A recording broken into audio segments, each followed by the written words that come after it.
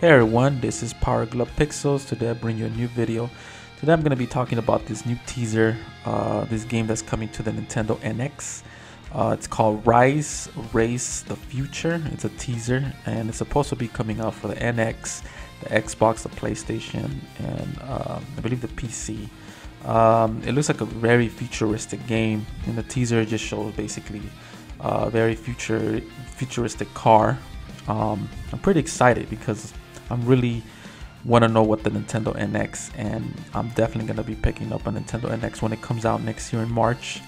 Um, I've been uh, waiting for a new, you know, some new information or some new um, game coming to the NX. I just hope that the Nintendo NX has better, you know, third-party support and that it's, you know, powerful enough to hang with the other systems. So uh, there's a there's a trailer. I'll give you guys the link down below so you guys can check it out. So this is Power Glove Pixels signing out. Till next time.